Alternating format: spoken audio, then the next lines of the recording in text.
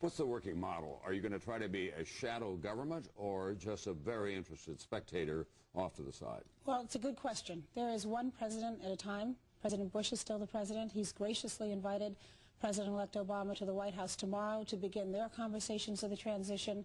So we respect that. He will be the president until January 20th.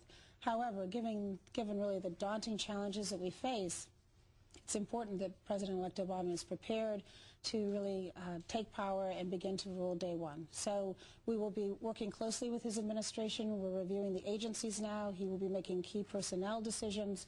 He gets national security briefings every day now as well, but he will not be the president until January 20th.